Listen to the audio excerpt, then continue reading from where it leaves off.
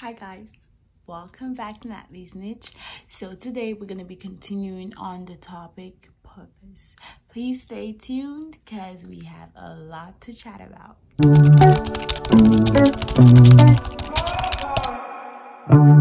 So in this purpose conclusion video, we're going to be talking about the last four W's, which is the who, the what, the when, and the where to find our purpose. So in order to find our purpose, we have to ask this question, who am I? And I believe we all have asked this question at some point in our lives.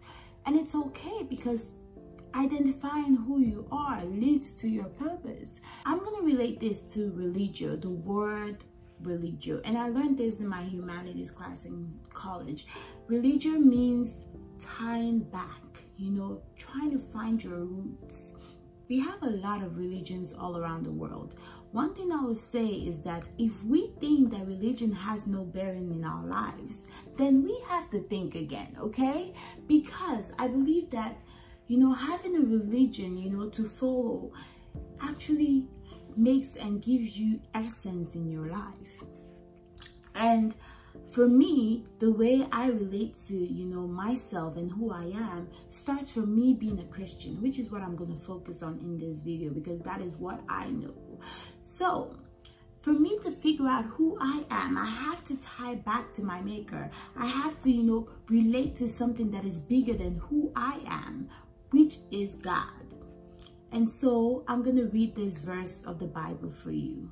First um, Peter 2 verse 9 and it says, But ye are a chosen generation, a royal priesthood, a holy nation, a peculiar people, that ye should show forth the praises of him who has called you out of darkness into his marvelous light. Okay, rah, rah, rah. All right, so, yo, I just got goosebumps because if my maker if the God who created me is telling me that I am royal, that I am a holy nation, that he has called me out into his perfect light. You know, I have to carry myself with some kind of class, you know, with some kind of class because I am royal, okay? So, this verse in the Bible makes me understand and makes me know my purpose, makes me know that I am a queen, makes me know that I was born to rule in this world. Identify yourself and tie back to your roots, tie back to God. And trust me, you will identify who you are as a person. So for me, I started to connect with who I was as a person by reading the Bible more, by praying, by studying the word, by listening and hearing words from the Bible like this that says that I am loyal, that says I, I am wonderful, and then I am fearfully and wonderfully made by God. Like him telling me who I am technically reinforces and lets me know who I am as a person. So the next one is the what. So what do you do, you know, when it comes to your purpose?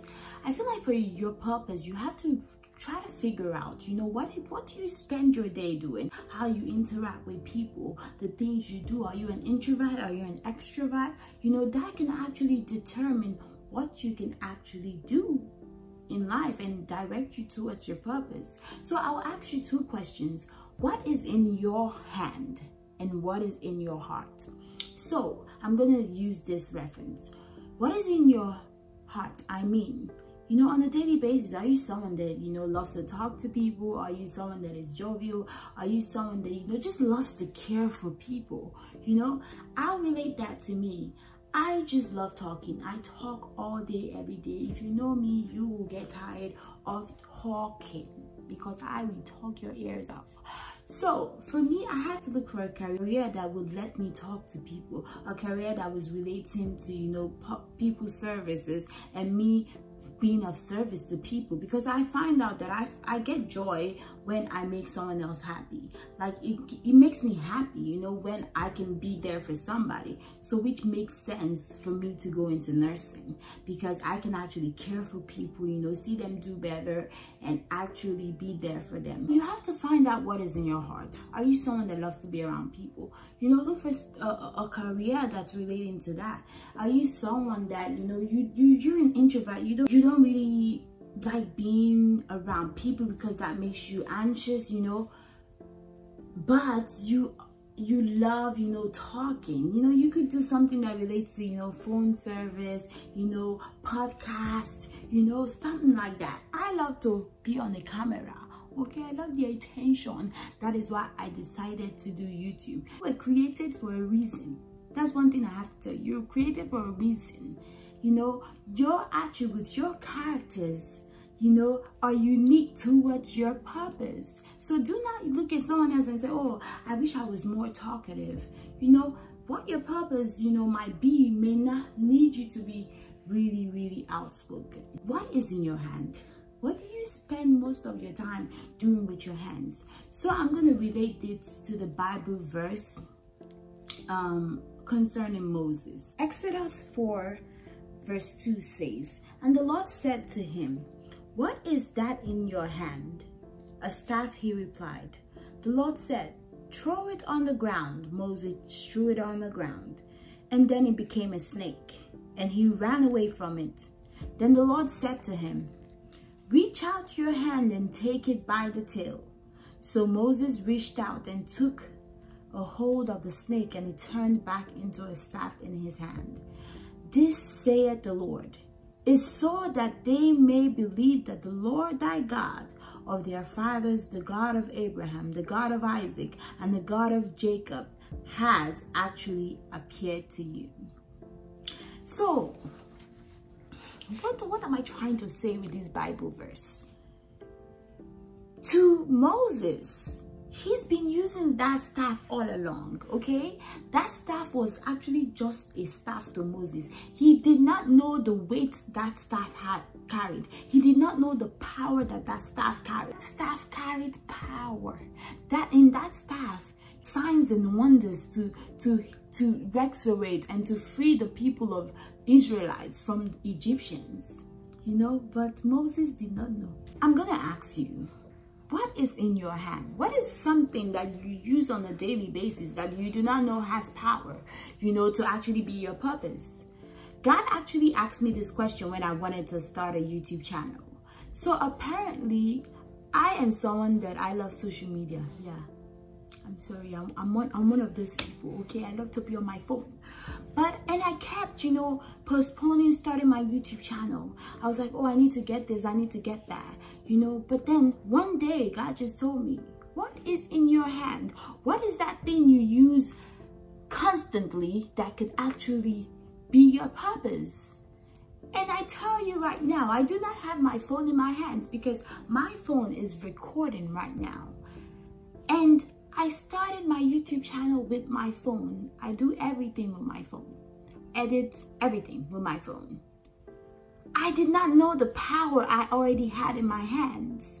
So you might be like me. You scroll onto Instagram as a fashion designer. You know, you know you sew clothes, but you go on and you're like, oh, I like this person. So, oh, her page is nice. You know, why not start a page on Instagram and share your items, share the clothes that you've made. No one is perfect. You have to start anyway. Try to figure out, you know, the things you spend time doing. Make sure that it's connected to your purpose. Let it not just be you wasting your time. The next W is when. When do you start? You start now, okay? Fear will always try to cripple you from a favorable future. So please do not let it do that, okay? And if you read further in Exodus, you know, you actually see where Moses started making excuses. He was like, oh, I'm not eloquent enough. You know, I'm a stammerer. God answered him and told him, who gave man their mouth? Spirit is here, okay? Who makes them mute or deaf? who gave man power to speak? You know, God told him that technically I am sending you because all your excuses are nothing to me. So your excuse might be, oh, I don't have the money yet to start that business. I don't have the right amount yet. I'm waiting to have $1 million. I'm waiting to have 200,000 before I can start that business. Start anyway. If it is two items you can buy, buy it. Start that business. Do what you can do now. Start it off. Because here's the thing. God does not like excuses because he has given you the ability. The ability is in you already. It's already in you. So when you ask me, when do I start at my purpose? You start now. So where do you start at your purpose, okay? So for some people, you know, purpose can lead them to going back to where, you know, where they started from, you know, to go back to their family back home or to go back to help people, you know, to, to help their generation, you know, to help their lineage, you know, just like Moses, who his purpose, although he ran away from Egypt, his purpose was in Egypt to save the Israelites. That was his purpose. He, he couldn't run away from it. So for some people, you could be the one person that God has put in your family line to save your family line or to be the first you know the first ceo to be the first nurse to be the first doctor to be you know god god might have put you to go back you know in your lineage to go back to go back to your home to be the person that save everybody and then for some people, just like Abraham, God told him to leave. Okay, leave this place, you know, and I will give you a place for you. I will bless you. I will make you a father of nations. You know, if you've been in a place or in a, in a state, in a city, and things haven't been working for you, I want you to pray about it. You know, that might not be the soil, the right soil that God has prepared to bless you you know, because the, the soil in the land you live, you know, it's very important towards your destiny and your purpose, you know, because the soil has to accept you. It has to be a soil that, you know, that God has ordained you to grow in. Was it that God could not bless Abraham where he was? God could have blessed him. But God needed him to go to the soil, to go to the land that he has prepared for him, to be able to make him a father of nations. So it's something for you to think about. If you've been in one place, you know, in a city, in a, in a state, and things haven't been working out for you, maybe look into moving somewhere. And for some people, the reason why that visa is not working, you keep going, you are going morning, afternoon, night, you are going every day, they are not accepting your visa. That might be because where you actually are is where God wants to bless you. That might actually be the right soil that God has prepared to bless you in. So today, as you've learned about the who, the what, the when, the where, you know, and if you've seen my previous video, you've seen the why, which is the five W's of life, you know, connected to purpose. I hope that this helps you try to figure out, you know, try to find out your purpose because this will actually help, you know, give your life meaning and essence, you know. It will help you know why you are here why we are all here is we are all unique in our own ways. And there's something there's god god did not make a mistake to bring you here. No he did not. There is something special inside of you. And I hope you find your purpose. Tell me what you thought about the five W's of life. And if it's something that, you know, I made you actually start to think about and try to connect yourself with much for clicking on this video. I hope I blessed you. I hope I am a source of motivation to you. I hope that I am so, uh, uh, I hope that this community is a community that, you know, lifts you up every day. And please don't forget to like, comment, and subscribe. When you subscribe, make sure you hit the notification bell because that is how you know when I post a video. I am posting a video every Sunday just for you. Thank you so much for joining the family. If you're actually thinking about subscribing, and, but you're, you're still thinking about it, you're like, I don't know yet. Please do it now. Start now, like I said. Click on this video and I appreciate you all for watching. Thank you so much. Thank you from Natalie's Niche and I'll see you next Sunday. Keep the faith always. Always look good. and live your life.